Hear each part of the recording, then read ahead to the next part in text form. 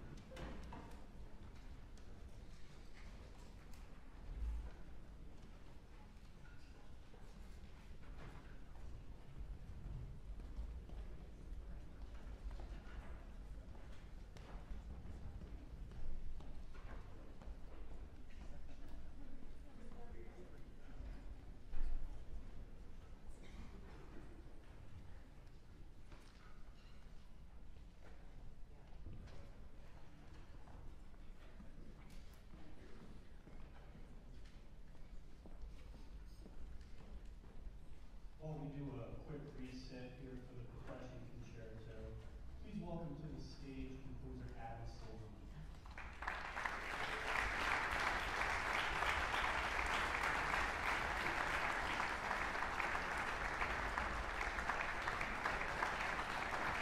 Thank you very much. Composing for percussion always involves a little hocus pocus. You direct your attention over here, you won't notice what's going on over there. There's going to be quite a bit of setup. Um,